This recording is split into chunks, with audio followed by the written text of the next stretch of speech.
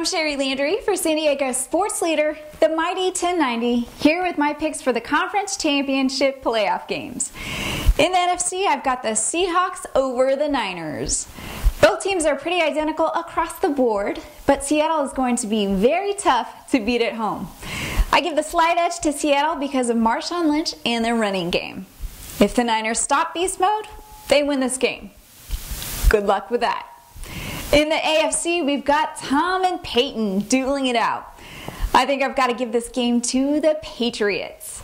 Tom Brady and Peyton Manning are two of the best to ever do it, but I'm giving the slight edge to Tom Brady because nobody can do what Tom Brady does. Tom Brady has won twice as many playoff games and two more Lombardi trophies than Peyton. So there you have it. Those are my picks for title game playoffs. Brought to you by Game Day Sports Bar and Grill at the all new Sycuan Casino. Have a great weekend.